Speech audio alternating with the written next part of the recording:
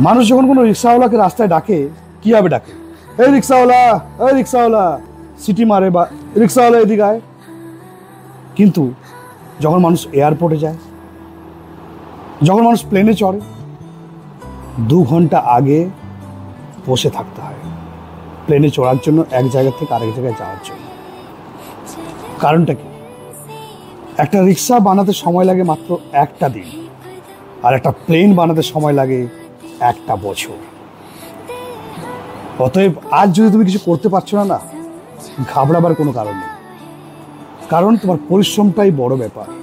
তো নিজের জীবনটাকে বানাতে হলে মিনিমাম একটা বছর তো সময় দিতেই হবে।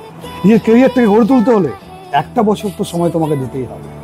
তারপর দেখবে তুমি যখন বনে যাবে, তুমি যখন এস্টাবলিশড হয়ে যাবে, ওই দু ঘণ্টা তোমার জন্য মানুষ ওয়েট করে আছে। আর কত মানুষ তোমাকে আশেপাশে ঘুরে বেড়াচ্ছে।